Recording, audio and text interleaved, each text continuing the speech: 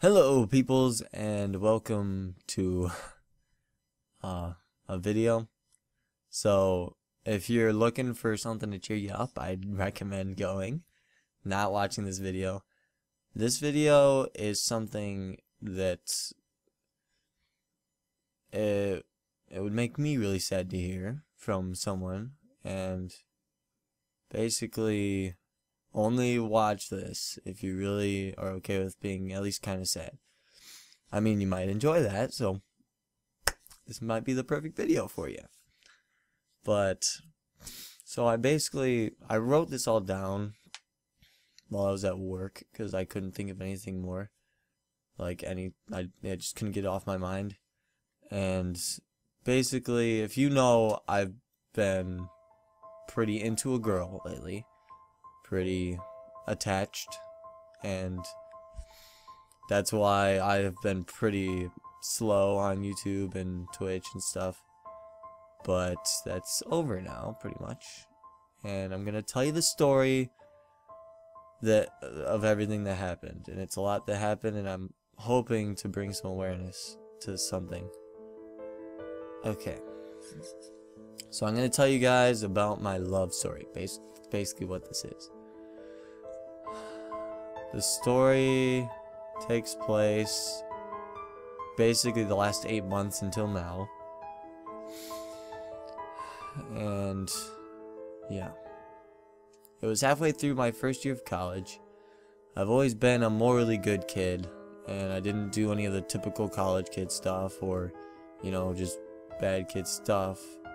I just hang I would just hang with my friends and play video games and you know, I was just starting up on YouTube at this time. Just starting up to like really make videos and stuff. I had been on YouTube for like, I've been on YouTube for five years now, but that was when I really decided I wanted to make YouTube videos.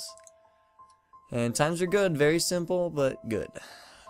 Girls would ask me, like, girls at college or something else, man. They would always ask me to hook up and stuff. If you don't know what that is, don't look it up. don't look up the hookup um, or go to their dorm and chill, you know.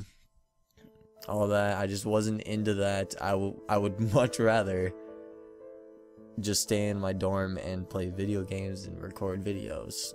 I'm not into you know, that. and that's why I'm still a virgin because I'm not into doing that stuff. At this point in my life, when it came to girls, I hadn't had a girlfriend in pretty much two years. My senior year, I had a hopeless crush on a girl who would pretty much never like me back, it seems. I always felt like there was some sort of hope and I just kept going and it just wasn't wasn't good. So I didn't really talk to girls much. Just stuck with my friends. And we would hang out every week back to college. So halfway through my first year of college, I started getting messages from this girl. She lived in Kentucky, I found out right away. so at first I was very skeptical, you know. But hey, at least there's a girl trying to talk to me, like actually talk to me and get to know me. so I would talk back and we had a lot of good conversations. She was a great person to talk to. Then she gave me her Instagram, and that's where things went crazy. this super cool, down to earth girl that is also the most beautiful girl I have ever seen. Like, I kid you not, so attractive. She was drop dead gorgeous, and she was spending time talking to me crazy. And so the talking kept happening. Seemed like seemed like right around the time I was deciding to just let love do its thing and stop waiting for it. Just let it happen. I just didn't want to try and chase after it. I was just gonna let things happen as they were. I was, you know. And then right away, came out of nowhere. Of course, telling all my friends got me a lot of, don't you think she might be catfishing? And how do you know she's not catfishing? Like a bunch of those. Because, you know, they're, they're not the one talking to her. They don't understand. But I knew there was something different about her. If you don't know what catfishing is, it's when someone uses another person's pictures as their own to appear as something different, usually to get attention that they otherwise wouldn't with their own looks. That's basically what it is. There's other ways that it's been used and stuff, but that's basically what it is. I was so sure that I wasn't being catfished, and I would even say, if I'm being catfished, then they are doing one heck of a job, because it just didn't seem like it to me. So on her Instagram, the pictures went back for two years. The pictures were posted every couple weeks or sooner, you know, like a regular Instagram person, kind of.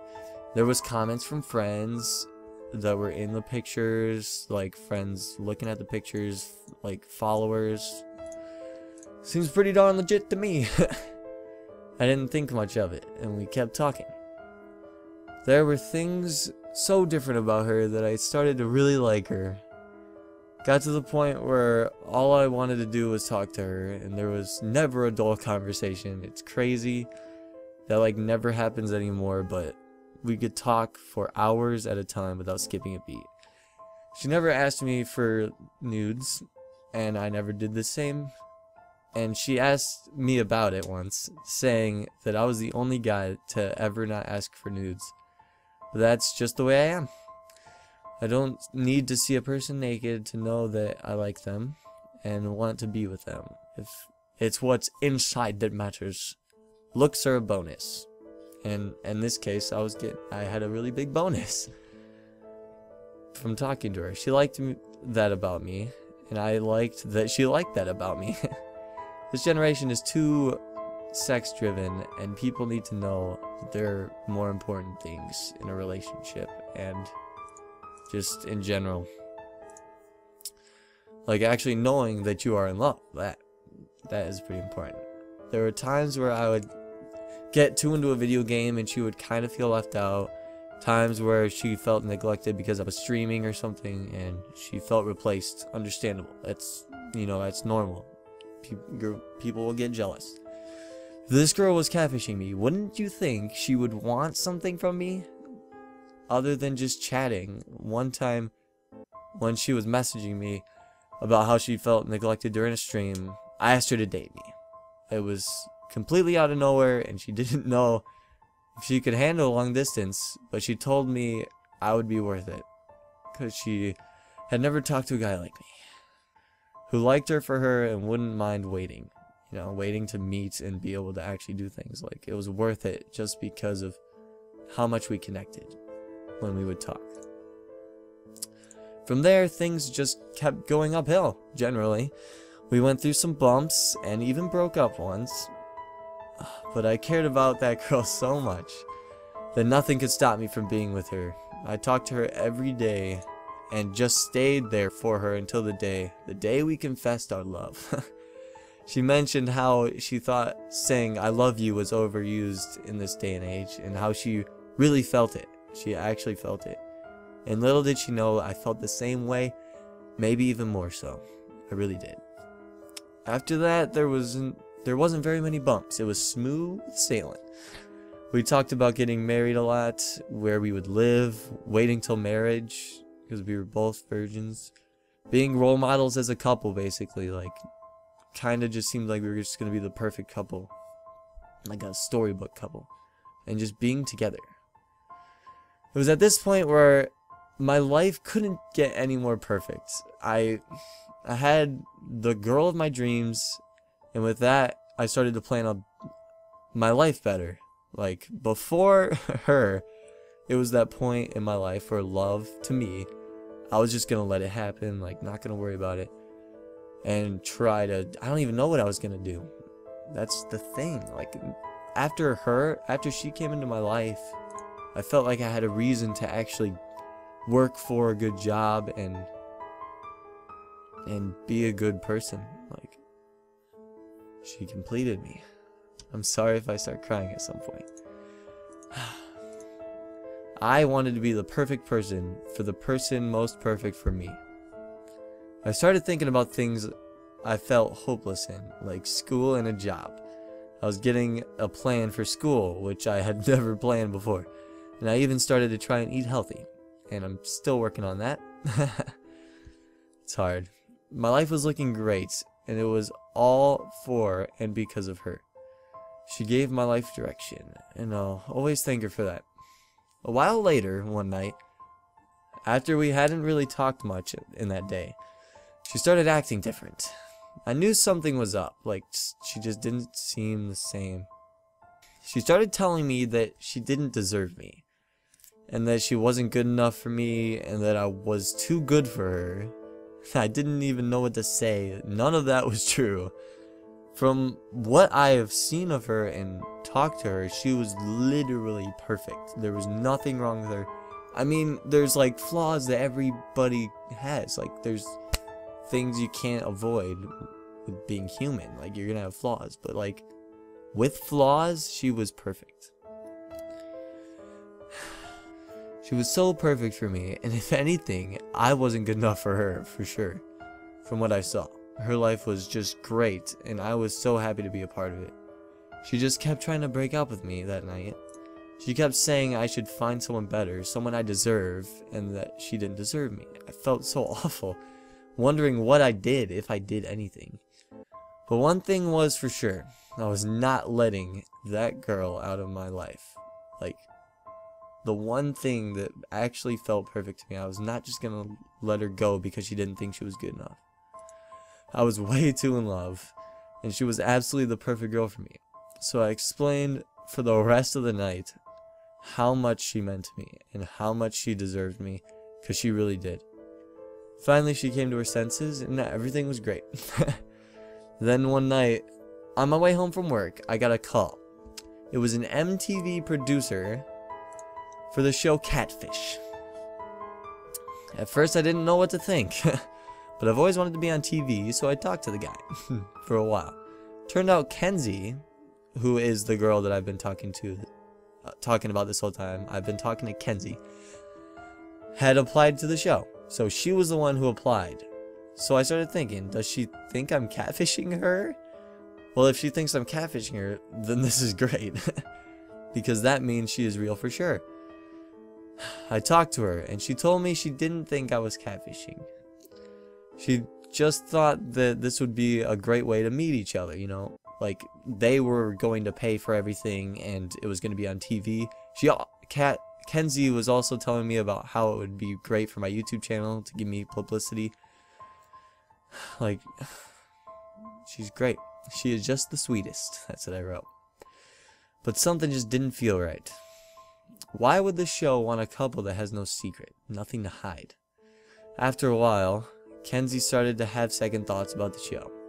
She would tell me, I don't want to do it because when you go on TV, you'll have so many chances to meet so many girls that are better than me.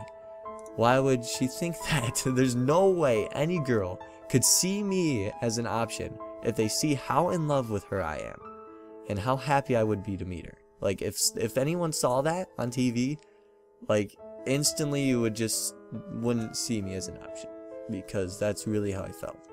Then after a little longer, she told me something kind of big. She told me the real reason she didn't want to do the show. She cheated on me. That was the secret that the show was looking to break to me on television. Apparently, Kenzie was still talking to her ex up till after a month of us officially dating. So that's like three months of us, three months of us talking. We have been, we had talked for two months, started dating, and for that whole that three months, one month of us dating, she was still like with her ex. I didn't take it bad at all, honestly. I understood. It's the first time either of us had done long distance.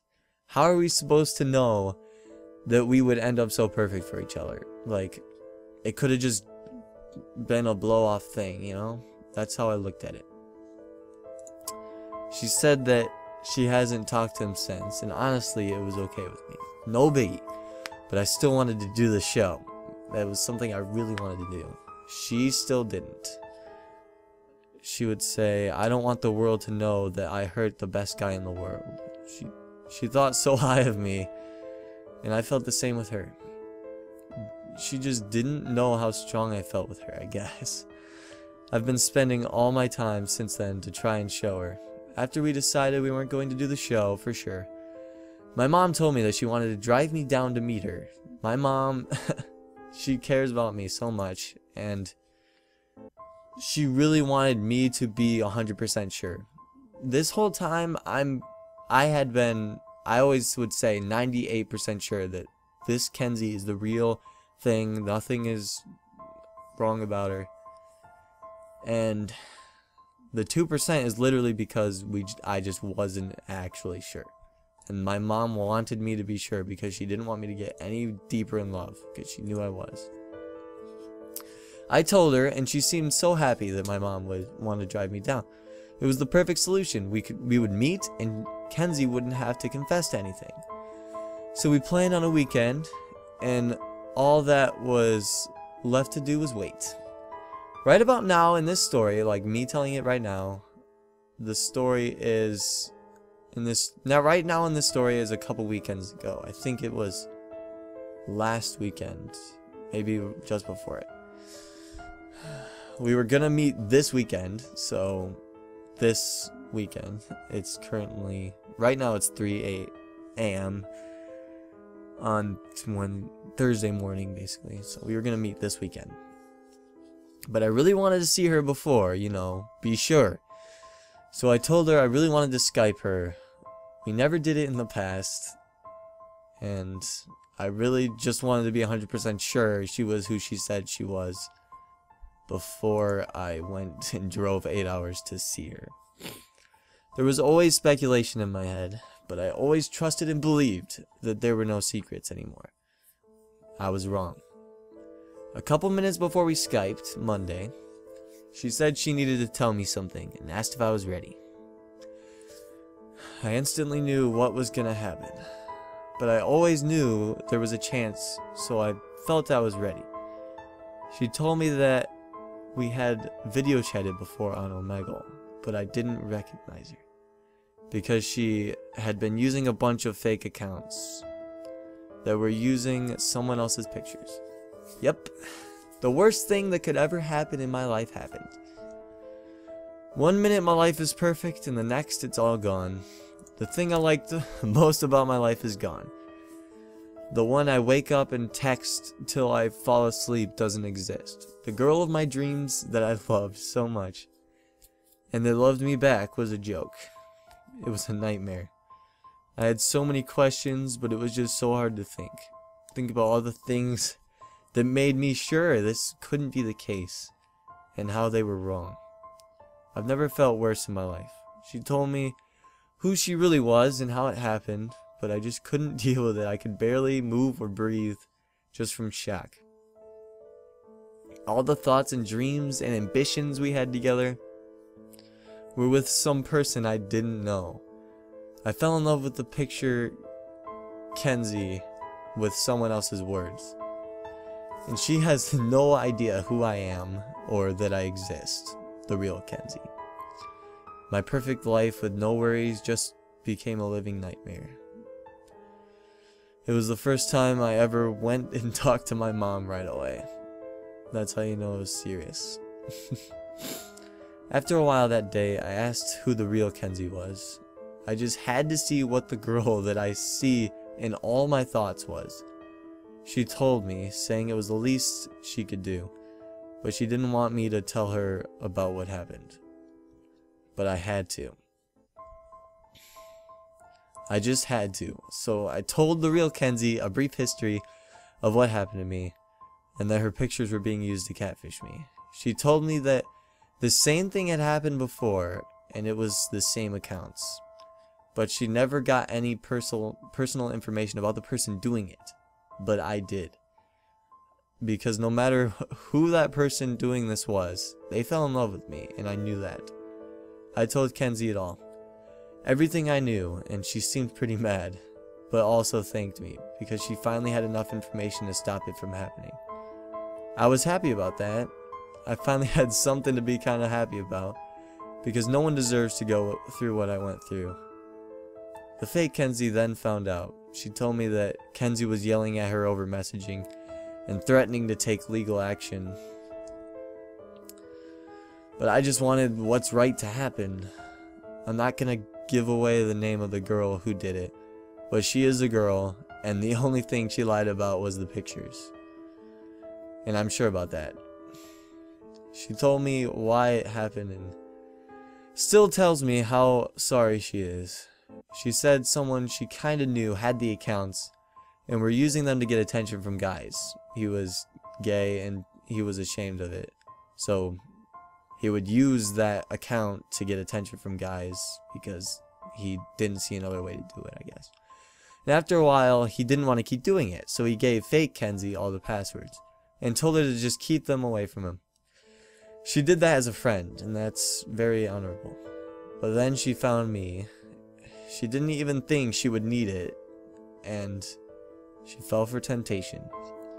She's actually a pretty attractive girl, in my opinion, and you would never suspect her of doing something like this, especially after talking to her. And she never thought she would too, she would tell me.